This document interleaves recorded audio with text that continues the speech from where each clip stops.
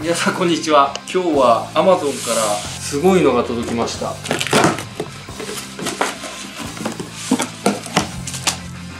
てってれー。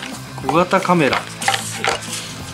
この小さいカメラでモニタリングっつうの。これがさここら辺にピタってついててもまあわかんないもんね。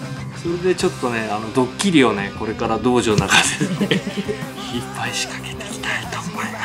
でも俺もっとこんな小さいのかと思って結構でかいんだねこれね。これ気づくかな？誰に仕掛けようか。小屋さん TV これから栃木の田村建設の鈴木社長が道場に打ち合わせに来ます。でそこでちょっとドッキリをね仕掛けていきたいと思います。もう仕掛け人の長口先生がもう本当にね悪い顔してますよ まずは？まずは昨日誕生日だったうん。人たちがいるので、うん。あの余ったケーキあるんで、ん。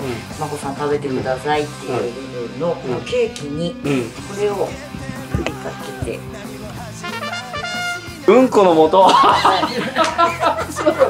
これさ振りかけたらもう匂ってんのかな？そうなんですかね。そしたらちょっと中の方に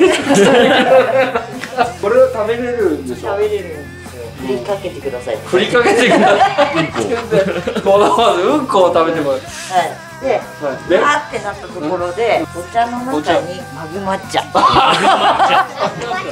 甘いケーキを食べた後にすごく辛いジョロキアの激辛を超えた煎茶。飲んでいただき飲んますでそうそう。これだけじゃまだ済まないんだよえじゃああと何が？そうですねあのこっちの窓の外の方から恐怖体験にしていただここうう恐怖体験。ちょっと行ってみる。はい行ってみようか。まずここに入ってもらってケーキを食べてもらって。でそしたらその後電気が。電気が一回一回。消えます。そしたらどうなの？あの画面の裏に窓があるんで外からこう紐に金物をつけてあるんでカランカランカランっていう。音がなりまくるなりまくる。うでそれを見に行くんです。ん見に行くのね。あっちなんかあったのかなってこうあ何もないなっていうのを確認して振り返るとここにゴキブリの人たちがいてうわ。これちょっと目立たないんじゃない？いやでも結構すごいですよこれ。これ見えるこれにまずびっくりする。これは？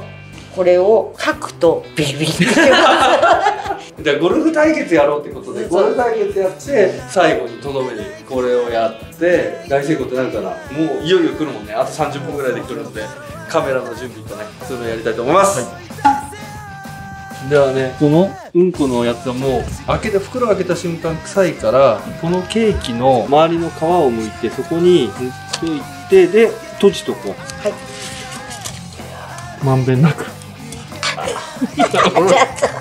ちゃもっともっともっともっとこれ大丈夫ですかこれ？あーちょっと待って手かかった。あ チョコレートケーキあすげえ。早く閉じて閉じて。まずおかしいと思うかな。下にさなんかこぼれてるからさいいです。チョコレートケーキにしか見えません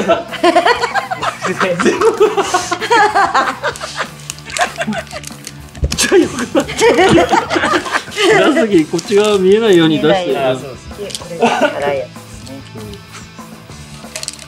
これも別にうんこ入れちゃってもいいね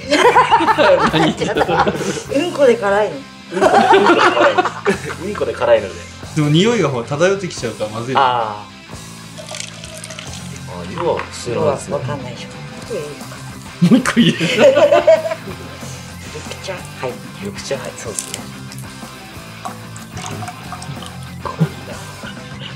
これ浮い。てるねあ全然白ですじゃあこのケーキだけその下の皿を取り替えて完璧にしてい。こう